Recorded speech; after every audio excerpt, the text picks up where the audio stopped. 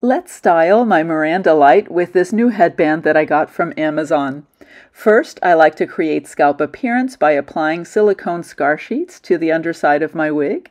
Then I apply the wig and the headband Next, we need to use a rat tail comb to create sections so that we can twist those sections of fibers back and then clip them onto the headband uh, with the clips that are attached. I just think this creates such an edgy and realistic look with scalp appearance showing along those sections. And I'll just go all around the front of the hairline doing this. Then I realized that I need to blend my fine and thin bio hair with the wig a little bit, so I'm using Color Wow root powder in the color red uh, to blend my bio hair with the fibers. Don't forget to have fun with your wigs. Happy styling!